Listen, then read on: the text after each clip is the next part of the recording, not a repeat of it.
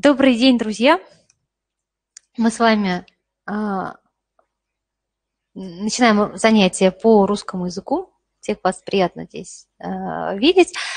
И а, сегодня у нас очень важное занятие.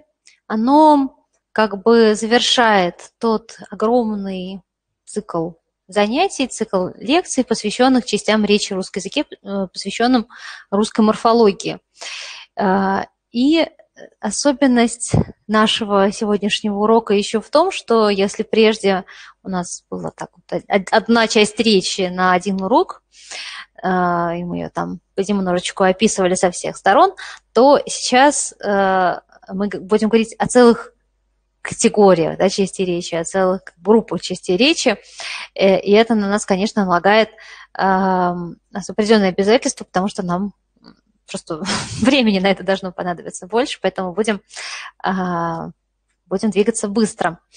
Итак, напоминаю вам табличку, которая у нас была в том, на том занятии, а, когда мы говорили о частях речи в целом, да, о тех принципах классификации частей речи, которые а, используются, тех основах, почему выделяют самостоятельные части речи, служебные, междометия. Вот по сути своей, да, вот э, о самостоятельных частях речи мы с вами говорили вот все время, а, что шли наши уроки. Мы говорили с вами о существительных, прилагательных глаголах, да, э, о наречиях и так далее. Да, и мы все видели, что в целом они изменяются. Ну, да, конечно, депричастие, там, наречия не изменяются, но, в общем, в целом изменяются, отвечают на какие-нибудь вопросы, они являются членом предложения, да, и нечто обозначают в реальности – вот. А сегодня мы будем говорить о тех частях речи, которые не изменяются, не отвечают ни на каких вопросы, не являются членами предложения и не служат для обозначения объектов действительности. То есть такое э, что же, что, что, чем, что же их тогда характеризует, возникает вопрос. У нас такое апофатическое, как бы через отрицание определение получается пока что.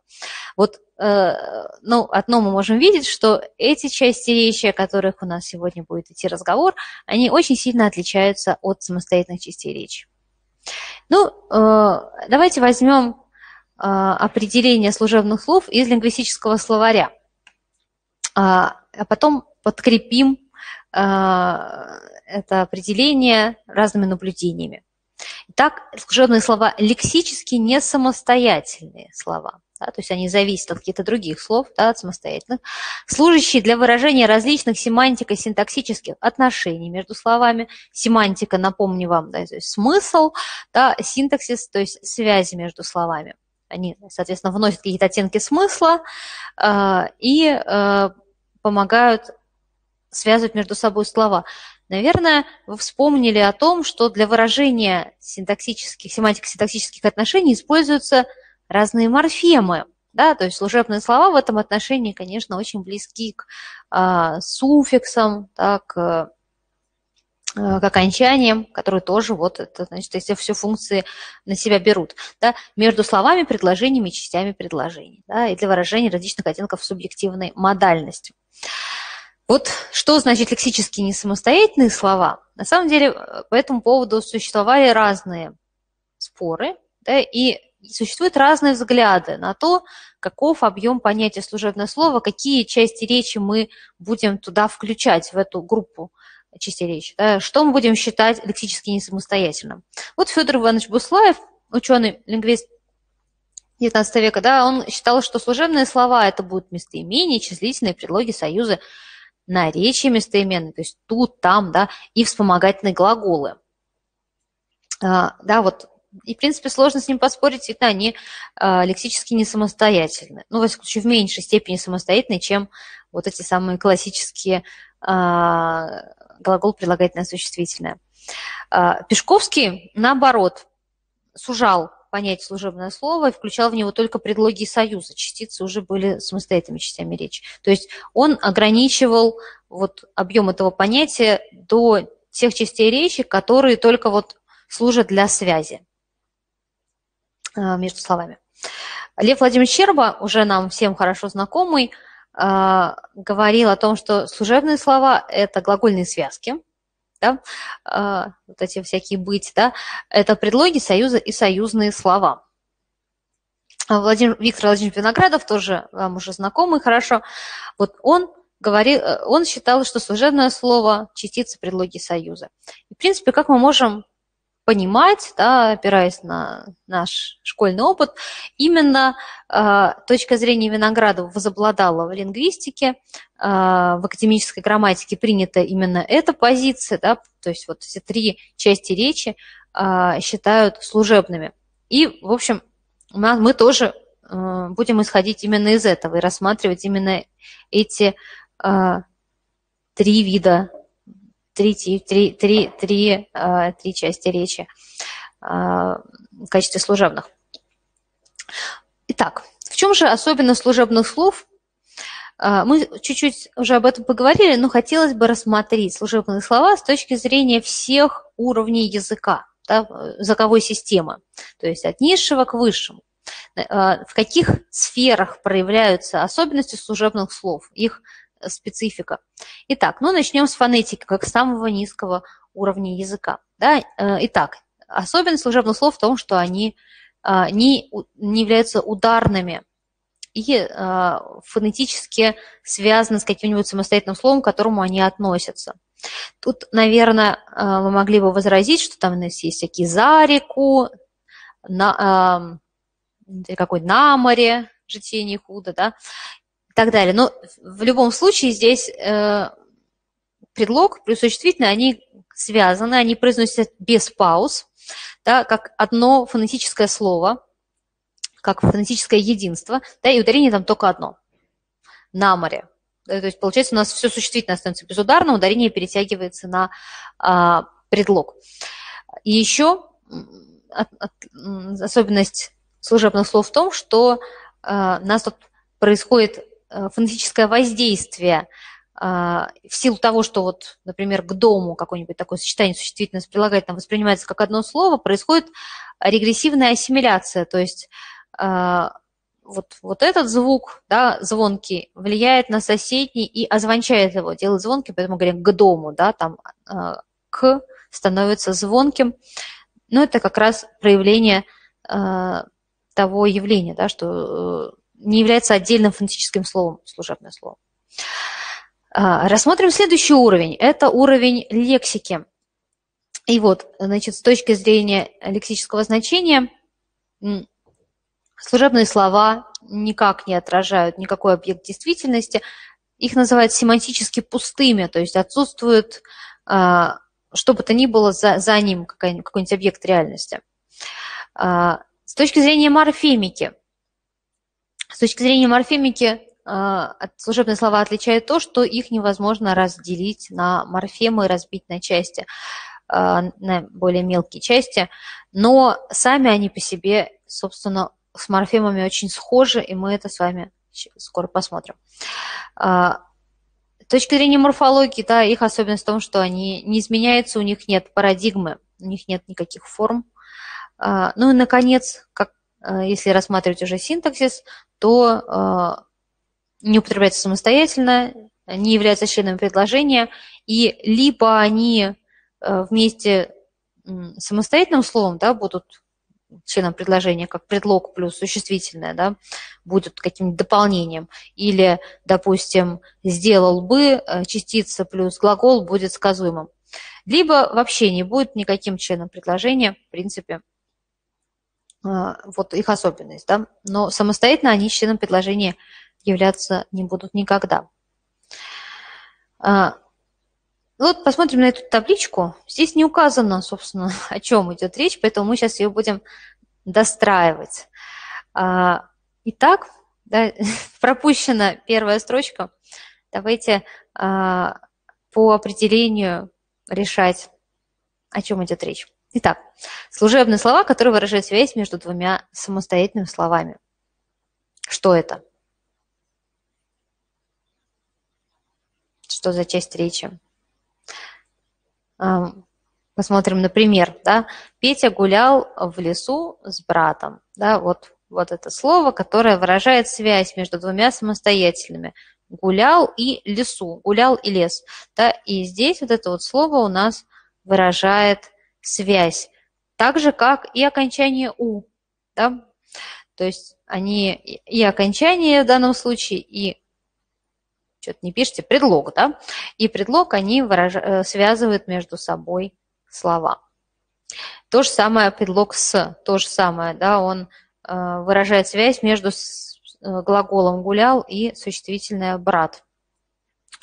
Выраж... Э, так, значит, итак, следующая категория служебных слов – это, э, это Сейчас вы мне скажете, что. Да? Служебные слова, которые выражают отношения между членами предложения, частями сложного предложения или отдельными предложениями в тексте. Обратите внимание на разницу. Тут связь между двумя словами, то есть здесь а, мы на уровне как бы морфологии находимся. Да, два самостоятельных слова, и их связывают между собой какой-нибудь, какая-нибудь морфема типа окончания, да, и вот этот самый предлог. А вот в данном случае, в этом определении, уже мы переходим на уровень синтаксиса. Поэтому нам, в принципе, сейчас будет сложно, э, наверное, говорить об этом, потому что мы о синтаксисе еще с вами э, ни слова не сказали. Что же это за служебные слова-то такие? Которые связывают члены предложения однородные, например, да, часть сложного предложения или предложение между собой. Что это такое? Конечно, это союзы. Да, в, самой, в самом названии этого служеб... этой части речи звучит идея связи. Да? Вот, да, Петя и Юра не только гуляли, но и купались в реке. Здесь, видите, как мы видим, союз и связывает между собой два а, однородных подлежащих, а союз не только, но и связывает между собой два однородных сказуемых. То есть не просто самостоятельные слова, а именно члены предложения. А, вот в этом особенность. Ну и, наконец, последняя категория, последняя группа – это служебные слова, которые придают предложениям дополнительные смысловые и эмоциональные оттенки. И что это такое? Что за часть речи?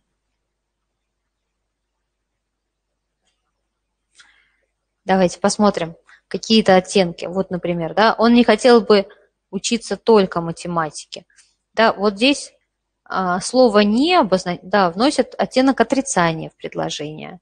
Да, слово «бы» обозначает, что это сослагательное наклонение, да, а, оттенок сослагательности вносит. Ну и слово «только», оно ограничительный смысл имеет. Да, только математики, лишь математики, да, а, ограничивает а, существительное, следующее за ним по значению.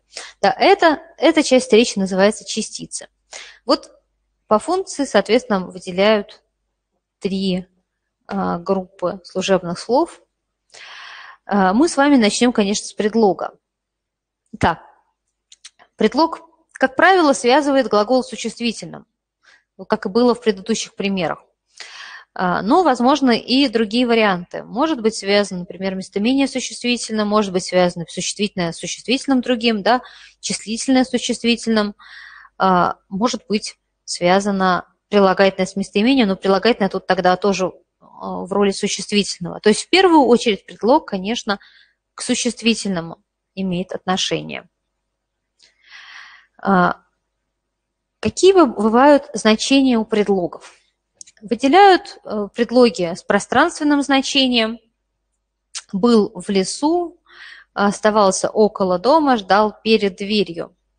А, выделяют предлоги с временным значением. Через час, за минуту, около года. Я, наверное, мы уже тут, в общем-то, видим, что, например, предлог «около» а, оказывается в двух группах, да, и пространственных, и временной. А, наверное, вы понимаете, да, что а, дело в том, что предлогов мало. Как вообще служебных слов мало, их, в принципе, всех можно пересчитать буквально по пальцам, поэтому у каждого предлога много значений, они отличаются всегда многозначностью. Давайте придумаем э, примеры, в которых э, предлог «в» будет иметь временное значение предлог перед временное значение и предлог за пространственное. А, или там через тоже пространственное значение, чтобы проиллюстрировать это, эту возможность, эту многозначность.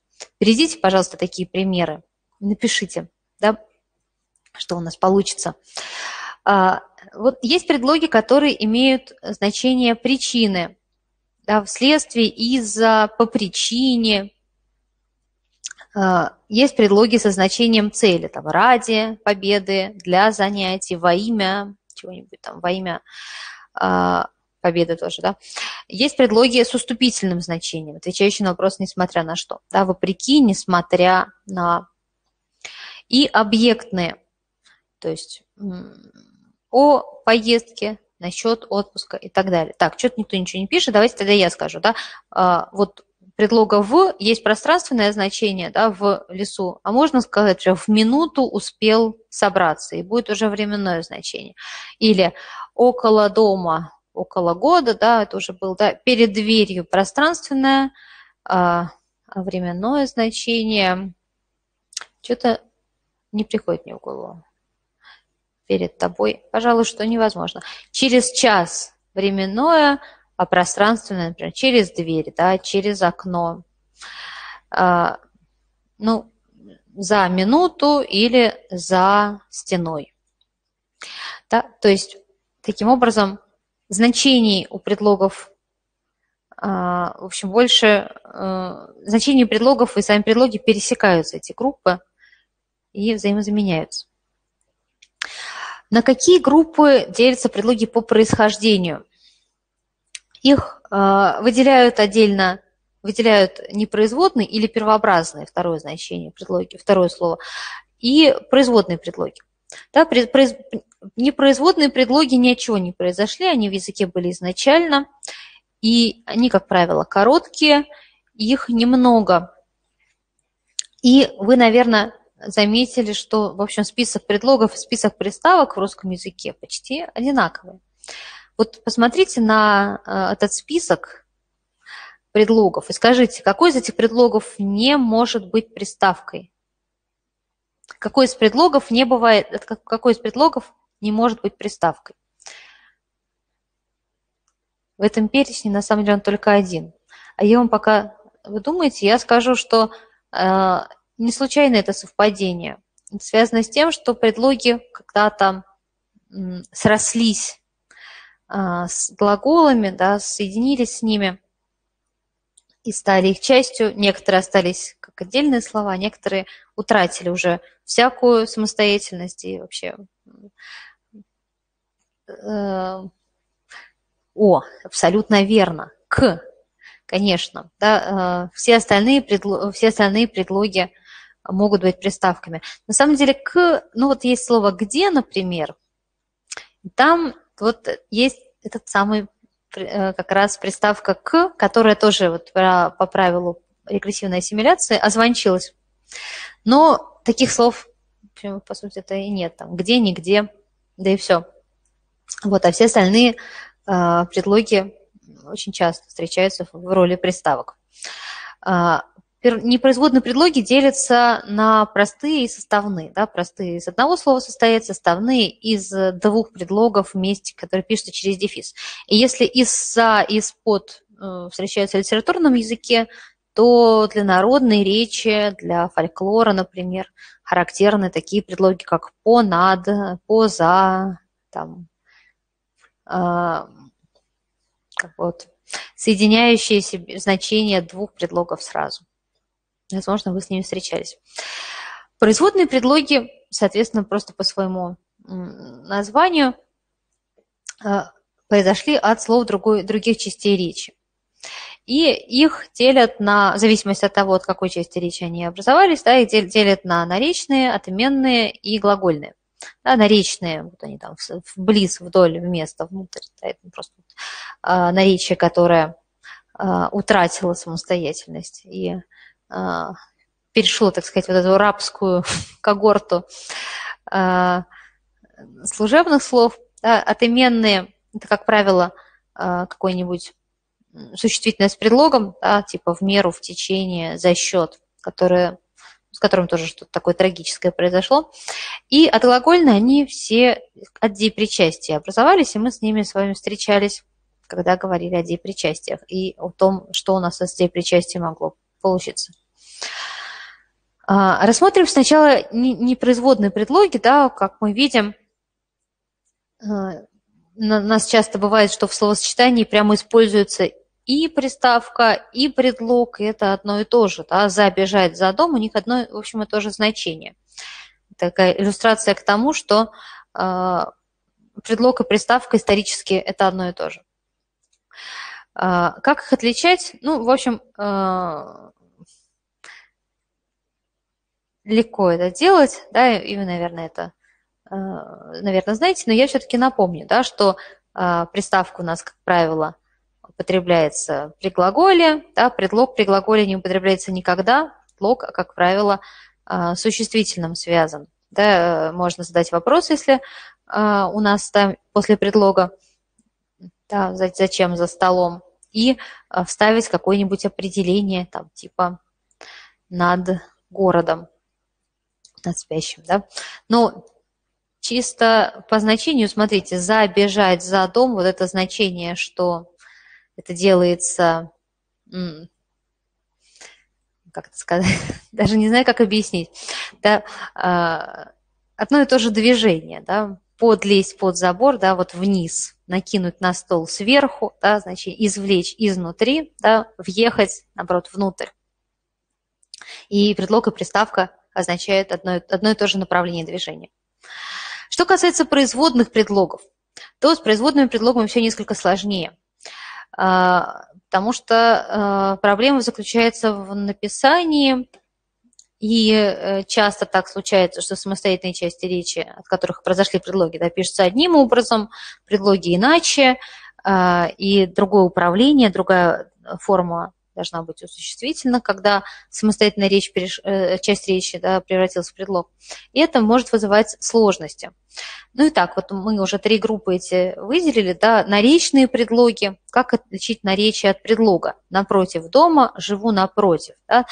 Э, в первом случае напротив дома у нас после предлога идет существительное. Да? Э, если это наречие, то наречие не может управлять никаким существительным да, напротив, идти впереди, вымыть внутри, повернуться вокруг, жить согласно, да, здесь все перед нами наречие, да, потому что них никаких существительных нету. Да. Напротив дома, впереди отряда, внутри палатки, вокруг оси, согласно указаниям, все это предлоги. Тут несложно, да, сложнее несколько, когда у нас э, отименные предлоги.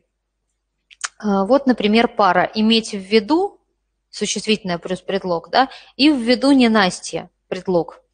Да, э, да, в этом случае здесь не забывайте, что в виду ненастье пишется слитно, а иметь в виду раздельно в два слова. Насчет работы, насчет в банке, да, понятно. В первом случае слитно это предлог, во втором раздельно. Вследствие дождя, вследствие по делу. Да, э, если это предлог в значении причины, да, из-за, то в кон- на конце у нас будет «е», и э, написание слитное, характерно для этого предлога.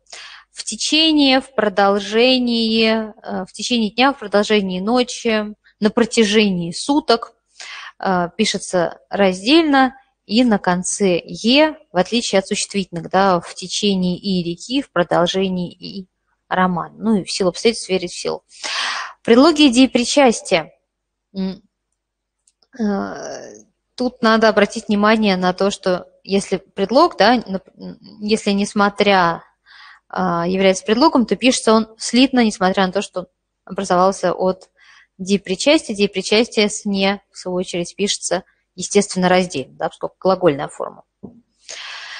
Еще одна сложность, и даже, может быть, больше сложность, это э, употребление предлогов в речи, употребление существительного в, в нужной форме падежа. Э, в некоторых случаях это действительно вызывает сложности. Э, выделяют ряд предлогов, которые употребляются существительными вот в форме родительного падежа, да, в виде, в заключении, по мере, в силу, в течение, наподобие, в продолжении и так далее. А, в форме дательного падежа а, наперекор, подобно, согласно. Вот это вот частенько путают, да, говорят согласно указа, согласно приказа, повеления. Нет, да, только дательный падеж. Вопреки обстоятельствам, благодаря помощи. И э, обязательно надо запомнить, что предлог «по» во временном своем значении сочетается с существительными в предложном падеже. Вот тут нужно э, вспомнить, да, что предлог «по» многозначный, у него есть тоже временное и пространственное значение. И э, пространственным все понятно, да, по улице, по двору, по школе, да, у нас все время э, сочетается этот предлог с существительными в форме дательного падежа. Но сложность заключается в том, что э, когда этот предлог употребляется в значении временном, в значении после чего-нибудь, то тогда он сочетается с предложенным падежом. То есть два значения и две разные, две разные формы у существительных. Вот это сложно. Поэтому по возвращении, по прибытии, по приезде, а не по возвращению, по прибытию, по приезду. Только предложенный падеж. Давайте немножко потренируемся. Перед вами 8, 9 предложений. Напишите номера предложений, которые описаны верно, а, где предлоги употреблены правильно. Напишите правильные только, да? И сейчас разберемся и попробуем исправить ошибки.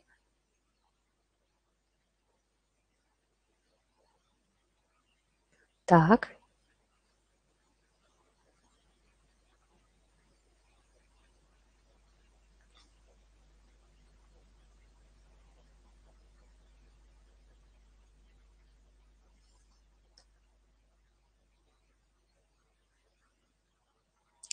а с, обои, с обеих точек зрения. Правильные предложения, которые вам не хотелось бы исправить как-то, отредактировать. Тут вы совершенно хороший вопрос, да, потому что здесь есть ошибки двух типов. Здесь есть ошибки семантические и ошибки грамматические. Ну, мы будем их учитывать и то, и то. Какие же предложения у нас а, будут верными.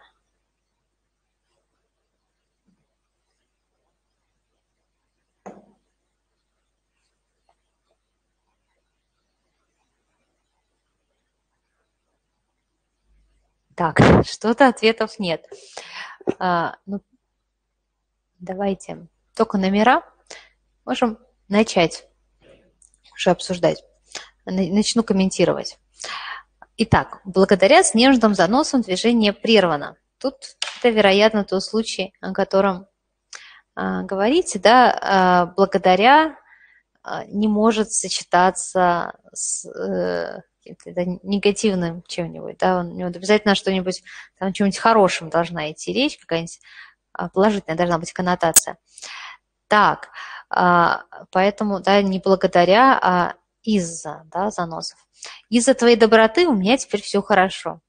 А вот здесь наоборот. Да, а, предлог «из-за» не сочетается с словами с положительной коннотацией. Из-за э, тумана, да, там я попала в аварию, да, но из-за доброты у меня теперь все хорошо, тоже сказать нельзя, только благодаря. Так что Первое, второе, здесь нужно предлоги поменять. Так, третье давайте посмотрим. По приезду из отпуска он отправился в университет. По, да, предлог по, здесь во временном значении употреблен. И нужно, нужна форма предложенного падежа. Да, здесь неверно, здесь дательный падеж, да, правильно, по приезде из отпуска. Так что это надо исправить. Так, четвертое. Та же самая песня да, по окончании фильма, не по окончанию, а по окончании «и». Перед нами, опять же, предлог «по» э, в форме, в значении а, времени, в значении «после». Вопреки прогнозов, да, вопреки прогнозам, благодаря родителям. Вот это верное, а наперекор всем тоже верное, да, 6-7. Восьмое. Давайте рассмотрим. согласно расписанию занятий, вот лично я несколько раз, много раз такое слышала, это ошибочное употребление, да, согласно кому чему, расписанию, нужен дательный падеж. Ну и, наконец, последний, опять предлог по, опять в значении времени, по предъявлении и паспорта. То есть правильный ответ должен быть 6, 7. Сейчас остальные неверные. А, рассмотрим следующий наш с вами тема – союз. Для чего может служить союз? В табличке все, собственно, случаи, когда его, он может быть использован. Итак, а, первое предложение без союза, да, в втором предложении союз связывает между собой однородные члены, да, а, здесь я читаю интересную книгу, а ты играешь в компьютер. Здесь части сложно сочиненного предложения союз связывает. Да? А, здесь сложно, части сложно подчиненного предложения. Ну, а сложно сочиненном, сложно подчиненном предложении, да, мы немножко как бы пробрасываем вперед, мы об этом не говорили, и я не знаю, что вы об этом знаете, да, но я сразу скажу, да, что сложно сочиненные предложения предполагают, предполагают некую симметрию частей, да, взаимозаменяемость их, равноправие, свободу друг от друга. Сложно подчиненные предполагают асимметрию. Одно предложение главное, другое зависимое, и э, мы можем от одной части к другой задавать вопрос. Ну и последний э, случай – это связь э, предложений между собой. Да, союз может связывать и отдельные предложения. Какие выделяют типы союзов? Ну, по формальной структуре, пусть по составу, выделяют простые и составные союзы, да, простые, то есть из одного слова состоящие, составные из нескольких, причем, видите, они могут быть длинными, несмотря на то, что вопреки тому, что благодаря тому, что и так далее. Все это будет союза. Один союз, как бы, да, из нескольких слов. И э, еще по, по структуре же э, союз делится на одиночные, да, то есть просто одно отдельное слово, а, двойные и повторяющиеся. Двойные, чтобы отличим их от составных. Составные союзы, они все пишутся вот так вот подряд, да. Двойные союзы разбив, раздевают, разделяются там, словами или предложениями. И, например, одна, одна часть союза будет а, рядом с одним словом, одним однородным членом и, например, или одним предложением, а вторая часть рядом с другим, начинает другое предложение. Ну, повторяющиеся, понятно, точно так же, как двойные, только это один и тот же союз, а, взятый дважды. По функции. А, по функции союзы э, выделяют такие. А, говорят о том, что есть сочинительные союзы и подчинительные союзы. Да, сочинительные это вот эти вот симметричные, э, подчинительные, асимметричные. Соединительные союзы, это, например, союз и, да, а, в значении и, да. Противительный союз, ну, например, а, но, однако. Разделительный союз или, либо и так далее. А, среди подчинительных союзов выделяют союз причины, ну, например, потому что, а, по причине того, что, благодаря тому, что, следствие, так что, потому, поэтому, цели, для того, чтобы, например, да, а, уступки, несмотря на то, что вопреки тому, что, или там, хотя, условия, или, например, например если, допустим, да, при том условии, что а, есть временный союз, ну типа когда, пока, как вдруг, как только. Сравнительный союз а, как, словно, будто, точно. И изъяснительный союз, ну, например, союз что. Правописание союзов может вызывать сложности, потому что они тоже, как и предлоги, часто являются производными, и э, в каких-то случаях могут очень сильно напоминать э, какое-нибудь сочетание слов других частей речи, и, которые, естественно, будут писаться раздельно. Вот, например, союз «чтобы» и э, местоимение плюс частица «бы» у нас получается «что бы». Как мы будем отличать их? Если, это, если у него есть значение цели, да, он пришел, чтобы взять книгу, и «бы» убрать нельзя, оторвать невозможно, да, пишем слитно, это союз. А вот, например, вот в этом предложении. Я думал, чтобы взять на память о бабушке, чтобы мы можем бы убрать или перенести. Да? Я думал, что взять. Или я думал, что взять бы на память о бабушке. Можем оторвать, да, переместить. И а, тут местоимение «что» имеет, а, играет роль дополнения прямого, то есть синтаксическую функцию выполняет, чего союз не может делать. Пишем раздельно. Тоже и так же. А, как разберемся мы, э, как мы пишем, слитно или раздельно. Тоже также присоединительный союз, и если его можно заменить на «и», и нельзя убрать «ж», то мы пишем слитно. У вас тоже был выходной, вот перемещ... Э, забираем, заменяем на «и», и у вас был выходной. Э, а также они между собой тоже взаимозаменимы. Да? Мы можем здесь поставить место тоже так же. У вас также был выходной, а здесь также заменить в свою очередь на тоже тоже нужно прочитать «Войну и мир». Вот, пишем слитно. Да? А если это местоимение или местоименное наречие в сочетании с частицей «ж», то мы частицу «ж» можем убрать или добавить «самое» или «точно так же». Да? Я делал то же самое, что ты, и устал точно так же, как и ты. В таком случае а, мы должны будем писать раздельно. Причем при том, да, иногда союз – а, если можно, значение да, в дополнении к, к чему-нибудь. Да? Иногда предлог с местоимением. При том, причем, да, мы можем задать вопрос, а, мы можем вставить что-нибудь, да, какое-нибудь определяемое слово, и пишем мы раздельно. Союз зато а, сочинительный противительный союз зато пишется слитно, если можем заменить его на другой такой союз, например, на «но». Да? Роман получился длинный, зато интересный, но интересный или однако интересный. Ну, а в данном случае да, здесь зато будет сочетание предлога с местоимением, пишется раздельно. От того, что от чего а, в одном случае союз, как мы видим, в другом случае – Э, предлог с местоимением, мы можем задать вопросы, опять же, да, переместить, э, разбить эти слова.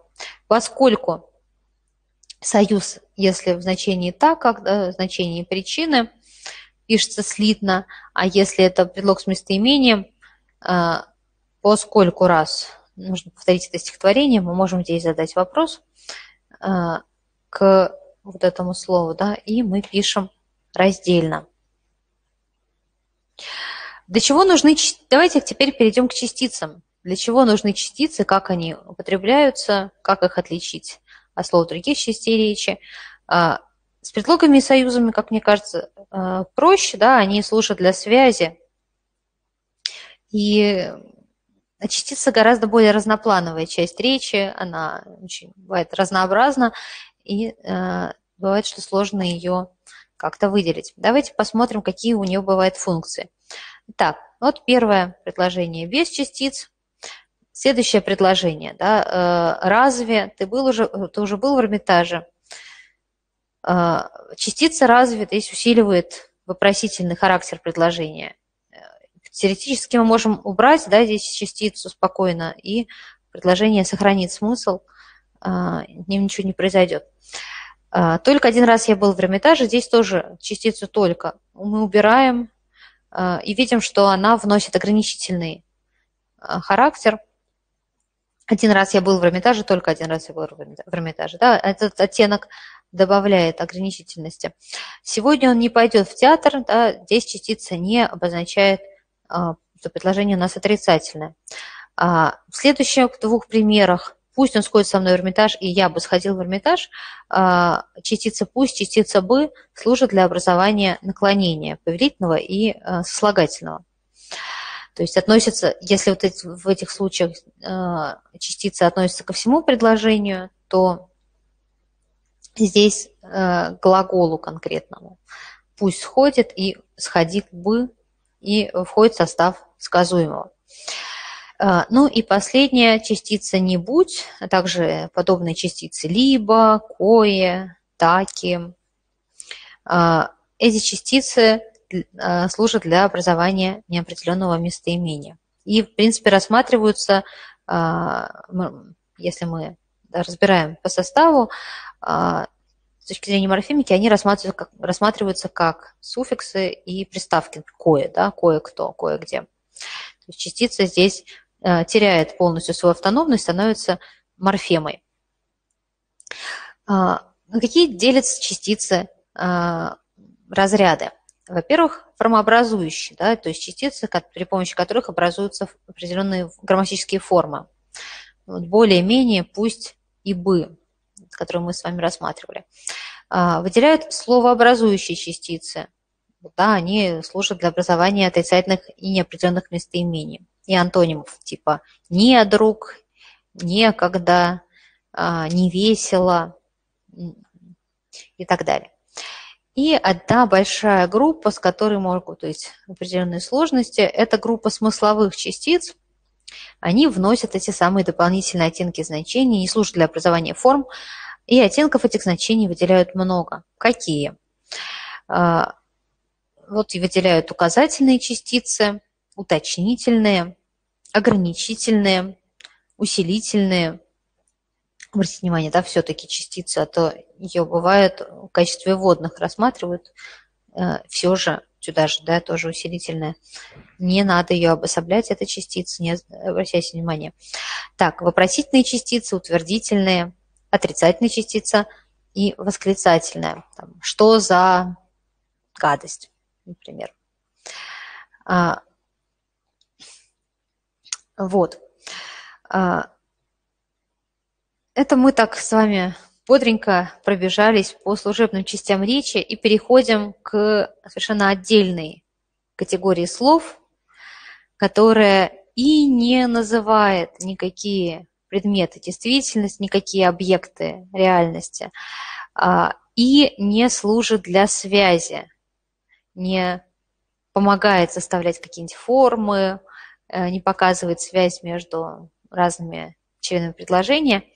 Не то и не то и не то. Да, междометие, напомню, не самостоятельные, не служебные слова. Да, они стоят особняком и выражают чувства, переживания, побуждения – надо сказать, что чувство э, – это мир чувств, да, мир очень такой субъективный, и э, понять, каково значение междометия, мы можем, не можем отдельно. Да, что значит междометие «ах»? Да, все что угодно. Давайте э, проиллюстрируем это. Вот, э, так, как вот в предложении «Ой, как ты меня напугал». Какую эмоцию, какое чувство выражает междометие «Ой»? Что за... А, что можно сказать о том чувстве, с которым употреблено здесь это междометие?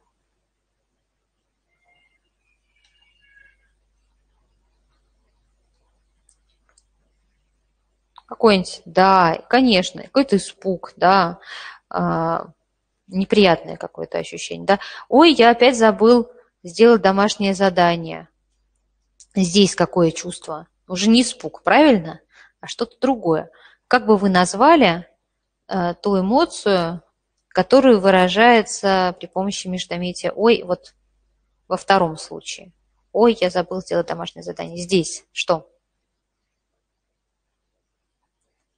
Какая-нибудь досада, да, да, недовольство, э, раздражение – какие-то такие эмоции, как вы напишите, не знаю. А, Ой, я не знала, что тебе нужна помощь. А в этом случае? Очевидно, не испуг, да? А как бы вы назвали ту эмоцию, выражаемую междометием? Ой. Ой, я не знал, что тебе нужна помощь.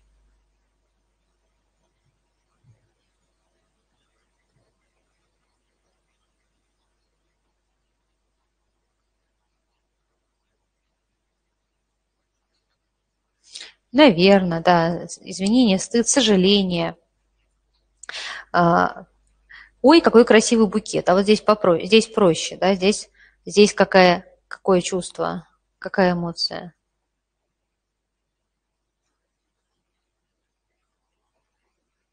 Да, радость. Но видите, какая гамма чувств при помощи одного маленького междометия из двух всего лишь звуков, да, э, от испуга до счастья и радости. То есть таким образом междометие само по себе ничего не значит. А, оно служит вот выражению чувства и вне контекста, причем контекст контекста быть, не может быть понято. Причем контекст можно понимать и как контекст слов, контекст предложений, как контекст ситуации, да, как контекст там, мимики, жестов, там, голоса, интонации. Да? То есть э, во всей этой совокупности только междометие э, можно как-то прочитать, да, семантизировать, в нем можно увидеть какой-то э, смысл. Само по себе оно ничего не значит. Выделяют междометия трех основных типов. Это, во-первых, междометия, которые обозначают чувства, да, какие-то эмоции. Э, обратите внимание на примеры. Видите, междометия всякий раз отделены от предложения либо запятой, либо многоточием, либо восклицательным знаком, э, либо точкой, да, ну, в зависимости от интонации. То есть междометие не является членом предложения и всегда от него отделяется от остального предложения. Есть междометия, которые выражают побуждение, да, какой-то приказ или просьбу. Э, они, в общем, образовались часто от каких-нибудь глаголов, ну, типа марш, да, маршировать, допустим, да, или э, там циц, ну, явно тут тише, как бы, да, э, или ц, ч, там, ч, вот такие вот э, глаголы или наречия, которые сократились, они, от них оторвались все, э, какие, все, все э, суффиксы, да, и они превратились уже в просто какой-то один звук, вот, который коротко выражает побуждение. Ну и междометия, которые служат для выражения э, приветствия или прощания, или чего-нибудь такого, да, и, как правило, это глаголы в форме повелительного наклонения исторически, да, этимологически, типа «здравствуй», «прощай», «извини», «прости», или существительные, да, э, «до свидания», «привет», «почтение», «мое почтение» и так далее. А, как видим, они все время да, отделены от предложения. Всегда. Не забывайте, что они междометия.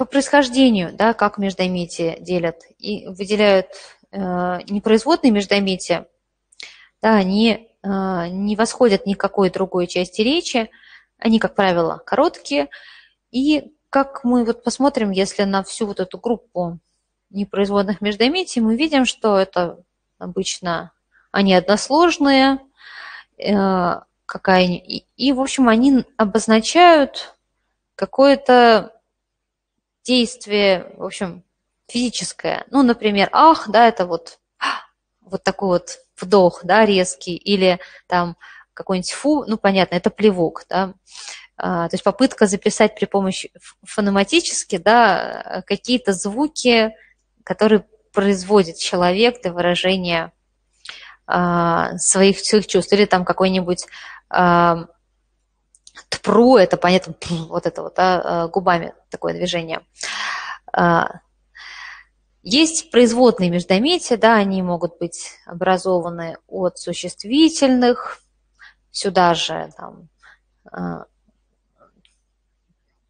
от, от глаголов, да, по видным наклонении, от других частей речи, там вона, например, а, частицы полно, а, прочь, однако. Ну, короче говоря, от наречия частиц от а,